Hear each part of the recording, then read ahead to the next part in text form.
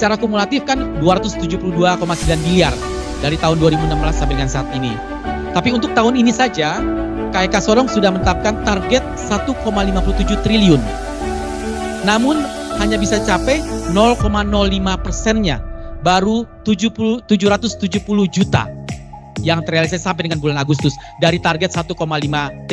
Kantor Wilayah Direktorat Jenderal Bea dan Cukai Khusus Papua menyelenggarakan Fokus Group Discussion FGD Kawasan Ekonomi Khusus Kek Sorong pada Selasa, tanggal 13 Agustus tahun 2024, bertempat di Grand Ballroom Relief Panorama Hotel, Sorong. Kek ini Dewan Pengawas di tingkat provinsi itu ada di provinsi. Pak Gubernur adalah sebagai ketua Dewan Pengawas. Kemudian pelaksananya adalah Kabupaten Sorong dengan badan usahanya namanya MOW. Ada pajak, insentif pajak yang luar biasa, tax allowance, tax holiday. Untuk badan, kebetulan di Zoom mungkin hadir ya Pak uh, anggota BP3 OKP, Badan Pengarah Papua, Pak uh, Oto Ihalau. Semoga beliau menyimak juga.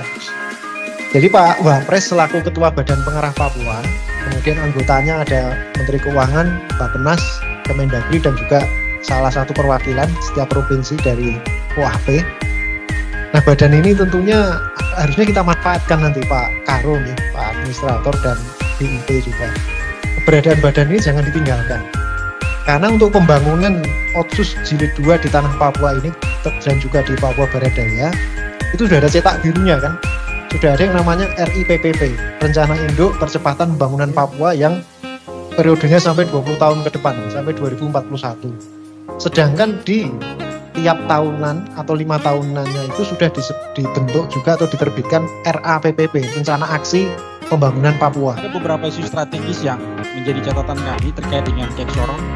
Yang pertama, sejak tahun 2016 sampai sekarang, 2024, Kek Sorong ini belum menunjukkan kemajuan yang signifikan. Perlu dilakukan evaluasi terhadap peran dan kinerja tanggung jawab BUPP tadi, Pak. Nah, di sini peran BUPP sangat penting. Selain BUPP, kami juga berharap di sini ada pihak terkait yang dapat berupaya mempercepat tadi pembangunan di situ yang namanya administrator.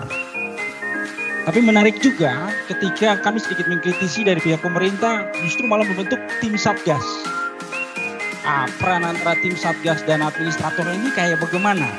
Begitu. Tugas kami dari BP3 KP tadi sebagai badan pengarah sekaligus juga sebagai badan pengarah untuk percepatan tadi. Sehingga saya lihat bentukan-bentukan dari Pemda ataupun BPP ataupun administrator ini belum ada konektivitas yang baik. Kesiapan infrastruktur. Saya sepakat tadi yang disampaikan oleh Pak Musad Kepala Biro.